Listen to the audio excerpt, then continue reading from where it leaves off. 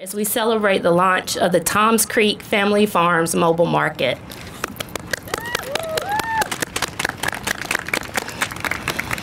It's been a priority for us at the city to seek solutions to address the food insecurities in our community. We recognize that this will take a multi-pronged approach and our work is not done with the launch of this mobile market. On a city level, this has taken a collaborative effort to include city leadership, our mayor, city council, our city manager, Ms. Wilson, and the entire executive leadership team. I would also like to recognize our city departments, OBO staff, procurement, Parks and Recreation, and Public Relations. Even our utilities office in Columbia Water offered their support to get us to this day. I've had the opportunity to work alongside the Columbia Food Policy Committee and witness firsthand their dedication and commitment to addressing the needs of our community. Our members of the Food Policy Committee, could you kind of raise your hand? Thank you. Can you stand up, please?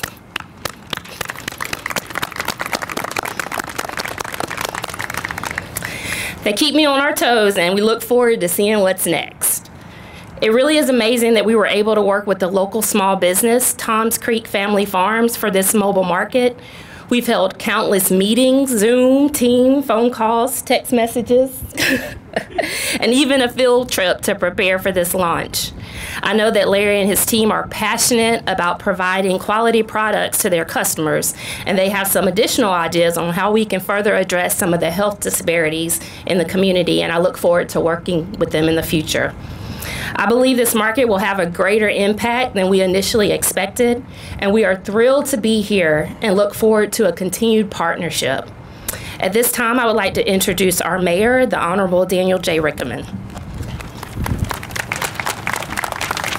Good afternoon. Another great day in Columbia, South Carolina. So excited about what's happening here today. Um, I, once again, I want the, the, opportunity to thank the Food Policy Committee um, who's here. Will y'all stand up one more time because this really was y'all's dream and you pushed and pushed for us to work together. Thank you so much for, for all of what you have done. And obviously, our staff, our OBO office, our hero back here, Miss Driggers, who, you know, if you haven't had any interactions with her office, you're missing out on some great opportunities because she just, she just gets you excited just talking with her. And I'm so excited that, that she's also pushing forward. But, you know, as we continue to do new innovative ideas. One of the things that council committed to was how do we address some of the issues in our food deserts and, and taking innovative steps. You know, working with a local farmer, not only building up their business, but bringing these fresh dairy, meats, vegetables to our neighborhoods, using our grocery access pilot along with Instagram. I mean, Instagram, Instacart. I've been Instagramming this morning. Instacart to to bring delivery and subsidize, trying different things as we get our way to hopefully get more grocery stores in neighborhoods but we have to be smart about. It. we have to build back our density. We have to build back our community so that we can get attract those grocery stores. We don't want to end up with an empty space like we have in some places that we've had two and three grocery stores in and now it's been empty for five years. So we're going to have to continue to be innovative support projects like the mobile market here continuing to have our other small markets out there but also investing in making sure that we're teaching our future generation how to cook fresh vegetables. You know, not everybody knows that a rutabaga is pretty good if you roast it, right? How do you cook collards? How do you take advantage of all the great vegetables and things that are grown right here in our community, working together with the small farmers and working with our local businesses to continue to bring opportunities to our community? One step at a time, one day at a time. But we only can do this by working together. So it takes the community, city government, the staffs, and businesses coming together to find the solutions, and we're going to continue to do that. With that, I'd like to turn it over to our District 1 representative, Tina Herbert, who big, big supporter driver for making this day happen. And I do have to say, it does feel pretty good to be standing on this basketball court that one of our Columbian natives made sure that this community had vested and gave back, sitting here on the uh, A'ja Wilson Court here, which proves that community coming together solves problems. Ms. Herbert? Thank you, Mayor Rickenmann, and you are exactly right that um, it's, it's not going to be just the city or one individual or one entity solving the problems that we face in our community. Um, we need the community, we need private folks, we need businesses. Um, to come up with collective solutions. And it's not going to be just one solution. It's going to take a lot of things working together. Um, we have been waiting a long time for the mobile food market. I am extremely grateful to the uh, Food Policy Council. Um, this initial idea came back in 2017. Um, and I also want to make sure to thank the mayor. We were able to do this because of ARPA funds that we received. Um, sometimes folks thinks we think we have thousands and thousands of you know treasure chests somewhere, but we don't. So we're very grateful for those funds and it providing us the opportunity to help a small business. Um, we recognize the challenges. We're trying various ways to approach it and resolve them. One of the other things that we've done is we've passed a uh, grocery store license, business license rebate program. And so if a new grocery store comes in, they're going to get a 100% rebate on their business license fees. And we also want to encourage current grocery stores, and so they are eligible for a 50% rebate in their business license fees. So again, it's not just one thing that's going to solve the issue. They're going to it's going to be a collective of things. We're really really excited about. Um, working with Tom's Creek Family Farms. We went through an official procurement process, just in case anyone wonders. How did we, I know y'all are wondering, how did we get Tom's Creek? But we put it out, we called it Put It Out, we put it out on the street. And we told folks this is what we're envisioning, and we wanted to hear from folks about how would you implement a mobile food market. Um, I was not a part of the process. Were you a part of the process, Mayor? Yeah, we stay out of things like that. We, but our staff, our procurement staff, and our OBO staff, as well as the Food Policy Council, work diligently. And there we have, and y'all see it, it's beautiful. Um, the mobile food market that is going to be run by Tom Creek Family Farms. And I don't know if y'all have some of the history because they also have an actual farm. So do you understand how easy it makes them to have access to foods because they own a farm and they have a grocery store? Um, and so it's so much better when folks have a history in the industry as opposed to maybe just trying out something. So I'm very, very optimistic. Y'all hear that, right? I'm very, very optimistic. I know this is going to be a success. Um, I'm also excited because they'll take all forms of payment, which includes um, senior vouchers and healthy bucks. Um, it is literally a grocery store on wheels, and so if you haven't been there, in there, I encourage you to do it. It will be um, providing its services in 29203 and 29204. The city did not choose those. Again, I want to give credit to our Food Policy Council, who has the experts expertise in this area to help us make these decisions.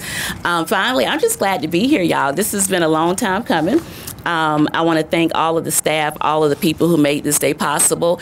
I am going to support because, Mayor, you made reference to some type of vegetable that tastes good. Um, if, if I learned how to cook it. Um, but, but but no, that's the reality. Um, it's an, also an opportunity to learn how to cook different things and new things. I've never cooked a rutabaga. I don't think my mama would let me know. Um, but it's that's a great opportunity to taste new things, get new things into your diet. So I'm excited, and I'm accept that challenge to cook the rutabaga. Um, I don't know if anybody else will eat it, but I'm going to try it. So thank you all for coming out here today. Thank you all for supporting us, and I look forward to hearing all of the successes of the food mobile food market. Thank you. Good morning. And I'm Shauna Cato. I'm the chair for the Columbia Food Policy Committee. And, and Tina and the mayor have about said everything that I was going to say. But I want you guys to know that the Food Policy Committee is the we are the cheerleaders. That's that's how I see us in this part of this entity. We've supported from beginning to end, just like um, Councilwoman Herbert said, from 2017 up until now. COVID stopped a, a lot of things, but this initiative did not stop.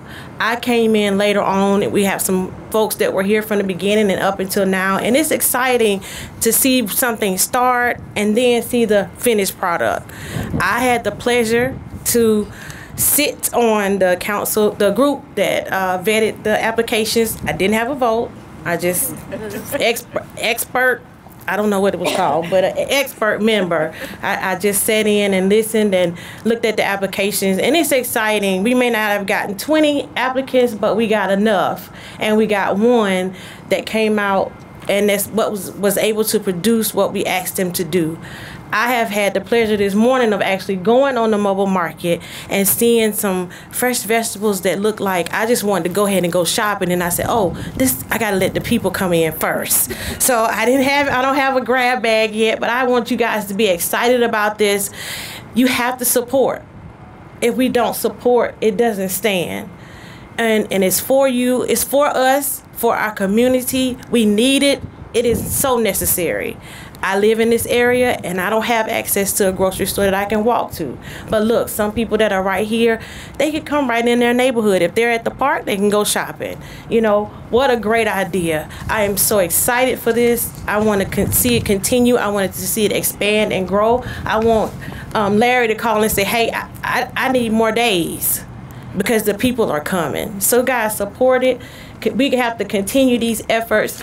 I believe that the food policy will move on to something else that will tie into this mobile market, like cooking and teaching folks how to take those groceries and cook them fresh so that they are good for our bodies so we can combat the many diseases that are in our area that are crippling to us. Thank you all for being here. Again, please go shopping today.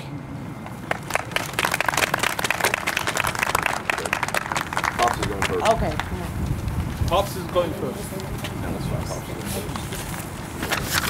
Hello, everybody. Hello. Mayor, representative, and the rest of the powerful people behind me. Nothing can happen without good team and powerful people behind you who are committed. Um, Larry will talk about the farm and the agriculture side, but I'm going to talk about the our role as people who work in the community and who work at the university. I'm a professor at the University of South Carolina. And one of the greatest interests for us is being able to serve the community as a university. And our team, College of Education, Physical Education Department, Arnold School of Public Health, Health Services and Policy team, our intention is to be out here with the community to be able to work, collect information, disseminate information and add value to what we bring in as a physical entity of uh, agricultural products. Now, I also have to thank USDA Agriculture Department, South Carolina Agricultural Department, and the city for this opportunity. It's a opportunity made in heaven for us researchers and also people who like to serve their community. So I'm looking forward to move and expand this to other communities. With that, I'll hand it over to Larry, who will talk more about the chickens and the hogs and the vegetables.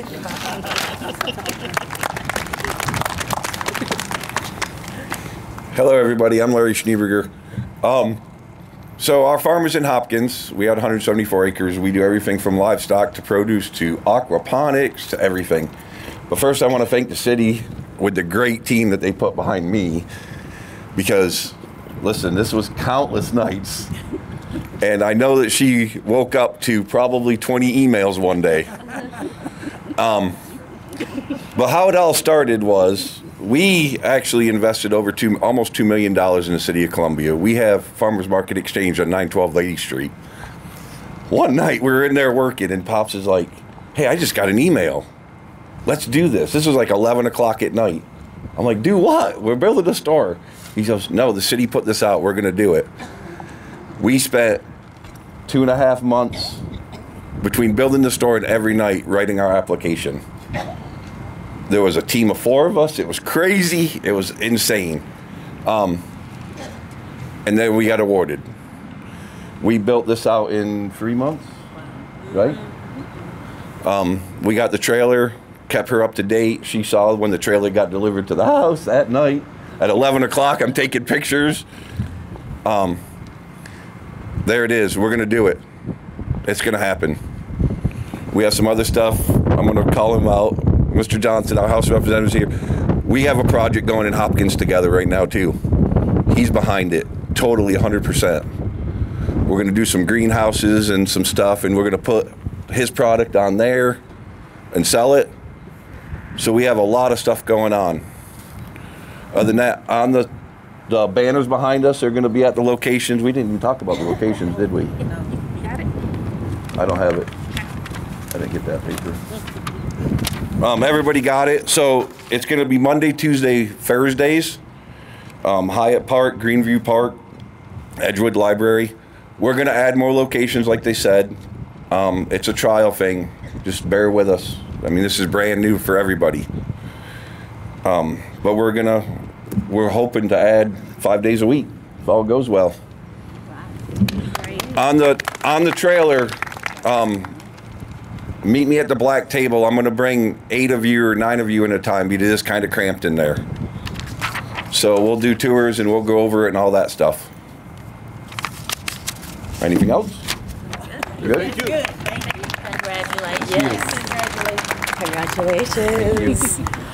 Hi, everyone. Well, I just wanted to close out and thank you all for being here. This is a cause that's very near and dear to my heart. Uh, given that it's more than a mobile food market, it's an example of when communities and businesses and city government comes together and finds innovative solutions to health problems that are really plaguing our communities.